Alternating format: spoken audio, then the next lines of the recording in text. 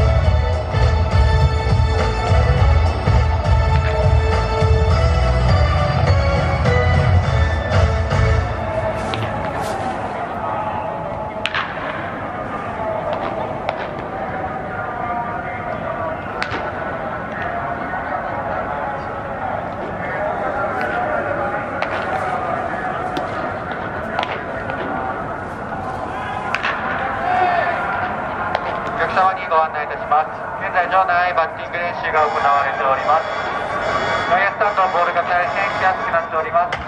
お客様にお願いいたします。プレー中はボールから目を離さないでください。